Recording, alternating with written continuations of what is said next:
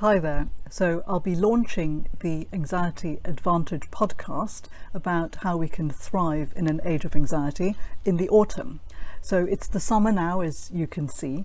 Um, so I'm working really hard on um, recording episodes with my various guests and also writing the script for the solo narrative episodes and basically putting all the admin and business side and um, all the artwork and stuff together uh, over the summer. It's quite difficult, uh, of course, with beautiful weather like this, but uh, to be sitting at my computer. But uh, this is my home office. Welcome.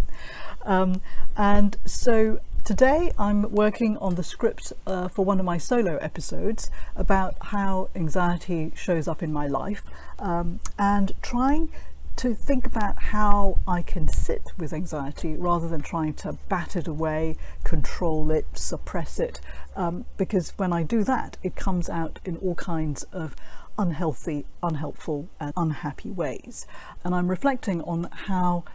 Uh, a Simon and Garfunkel song might be an inspiration uh, for a way forward to think differently about my anxiety. Uh, but so far, I've got two interviews in the bag. I've recorded a discussion with James Wood, also known as J.W. Wood. He's an author, novelist, and an editor for uh, a financial technology um, publication. And we have recorded a really fascinating, wide ranging episode on uh, digital life and the age of anxiety. I've edited that and put it together, and I'm really excited to eventually put it out there uh, in the autumn. And secondly, I've got a change of rhythm with an episode that I recorded the other day with River Owsley-Brown.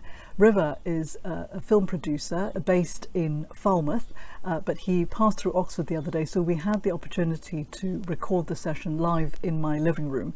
And the uh, subject of that uh, episode was things that make me anxious. So River gathered 10 things that made him anxious, and I gathered 10 things that made me anxious. And we had a real good laugh and a riff on these things, uh, sharing our experiences, laughing with each other. And it was fantastic to share that with someone and change the energy around anxiety and I'm very excited that tomorrow I'll be interviewing Jane Cammack. She is uh, she was a, an, opera singer and she's now a writer and she's going to be talking to me about her experiences of performance anxiety and also observing uh, having worked with Pavarotti and Placido Domingo having observed uh, them also these superstars these international superstars uh, experiencing performance anxiety so I'm really looking forward to that and I'll certainly report back once we've had the interview.